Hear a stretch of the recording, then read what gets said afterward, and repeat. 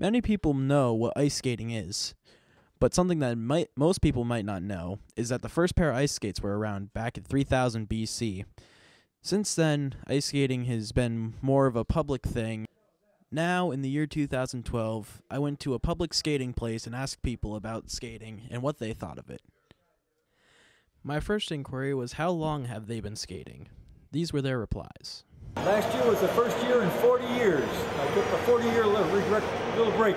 I have a daughter who's 10, so she started skiing, skating last year at 9, and I started with her back up again. Well, I'm 41, and I probably started about his age, and he's about two and a half right now, so pretty much my whole life. You know, uh, skating is a lifetime sport. I agree 100%. I see people out here, like the other day we were out here, one guy was 83 years old. You unbelievable. I'm in my 60s, so it's, I guess it is a lifetime sport.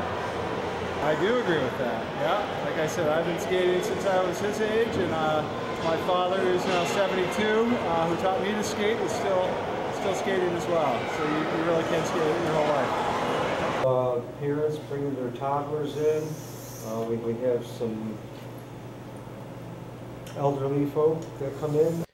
A thought struck my mind as I was thinking because I botched up an interview earlier. I decided to ask if they thought the same thing the other person thought and if it was feeling like flying when they skated. Well, I think it's really a relaxing feeling. I, uh, you know, you kind of are gliding along effortlessly, and then if you want to dig down and put in a couple hard strokes, you have a real surge of speed and you can get up really quickly. So it's really, uh, for me, very uh, invigorating. I really get a kick out of it still.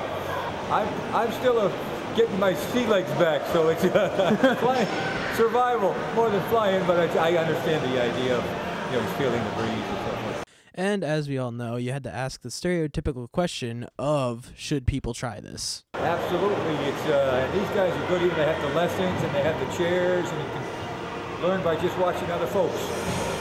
I would definitely recommend it. It's a lot of fun. And on a final note from David Manfredi, We need to keep uh, the skating community active.